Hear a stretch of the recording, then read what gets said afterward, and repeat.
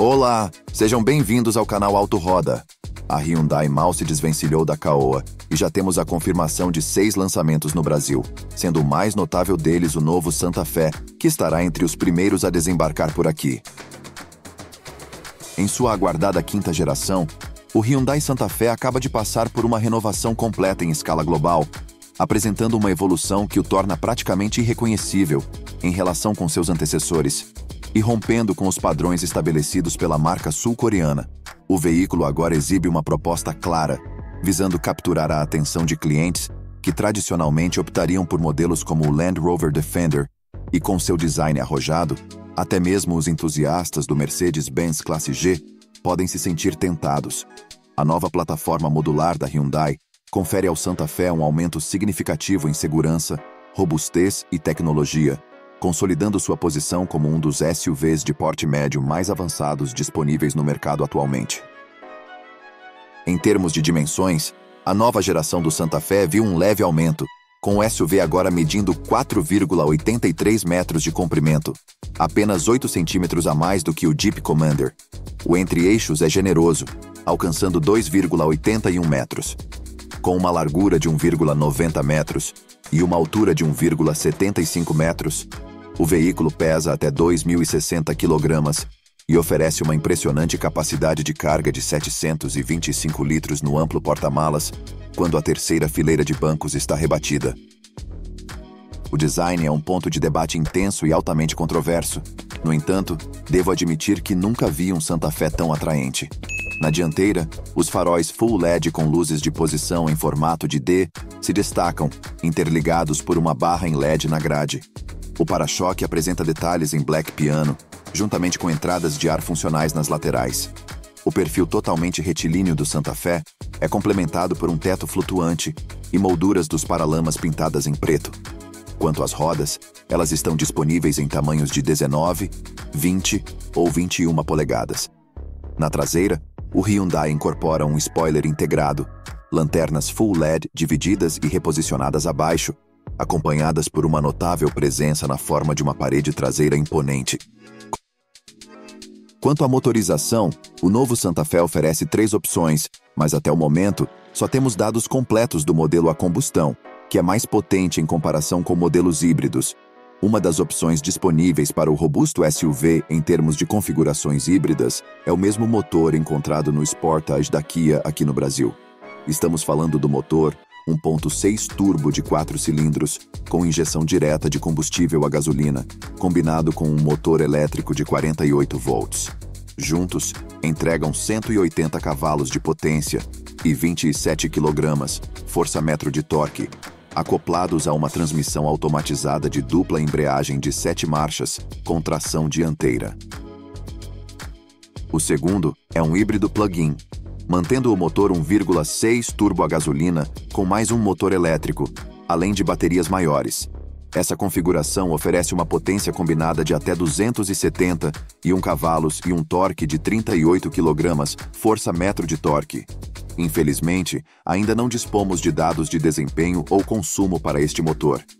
Aliás, para ambos os modelos híbridos, ainda não foram divulgadas informações específicas, mesmo após uma atualização.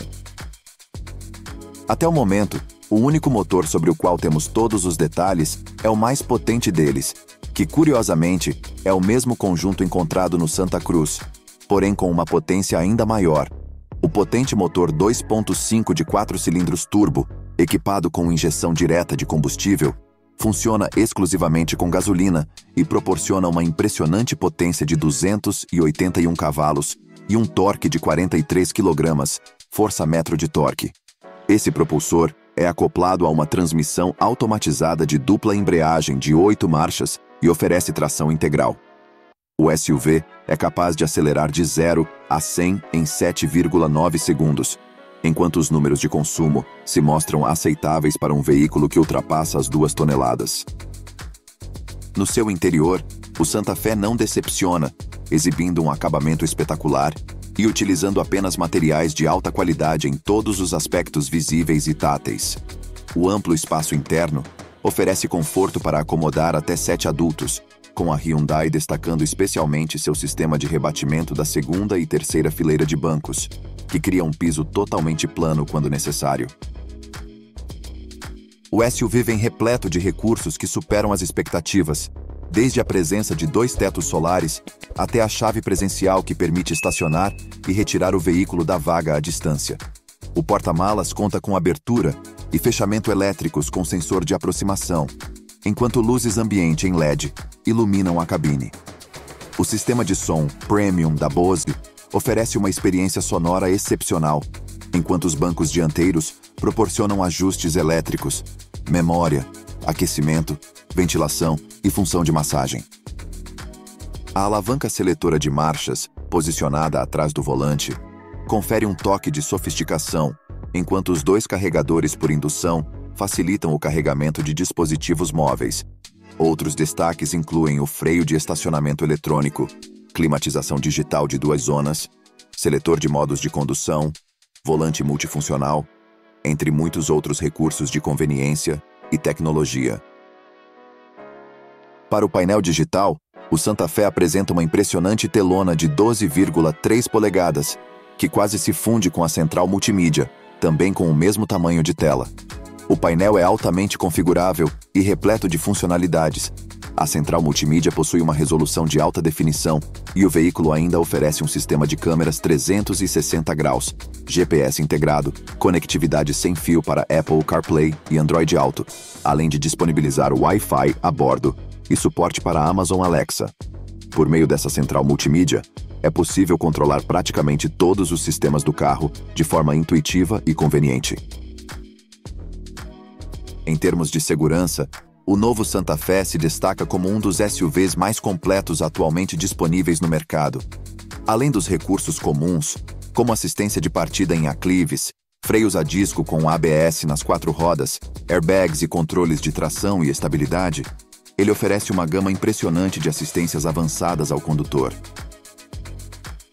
Entre esses recursos, destacam-se o alerta de mudança de faixa, comutação automática de farol alto, alerta de colisão, leitor de placas de trânsito, alerta de pontos cegos, frenagem autônoma de emergência, alerta de tráfego cruzado traseiro, detector de presença de animais, pedestres e ciclistas, assistente de correção de faixa. E o aclamado piloto automático adaptativo, que inclui a funcionalidade Stop and Go. Esses recursos combinam-se para proporcionar uma experiência de condução mais segura e tranquila para os ocupantes do veículo. Chegando como uma proposta completamente nova em relação com seus predecessores, o novo Santa Fé abraçou completamente sua identidade, buscando ser uma espécie de Land Rover de custo mais acessível. Ele promete entregar o mesmo nível de requinte e sofisticação associado à montadora britânica, mas a um valor substancialmente mais acessível, o que o torna uma opção de excelente custo-benefício. O lançamento oficial do novo Santa Fé ocorreu globalmente no início de 2024, logo após a separação da Hyundai da Caoa, em 6 de março. A Hyundai confirmou sua chegada ao Brasil, juntamente com outros cinco modelos, todos programados para este ano. O novo Santa Fé está confirmado para o mercado brasileiro e tem previsão de chegada no segundo semestre deste ano.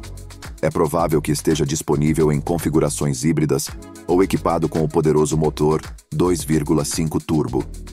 Considerando o grande porte do veículo, é pouco provável que as versões menos potentes despertem muito interesse entre os consumidores brasileiros.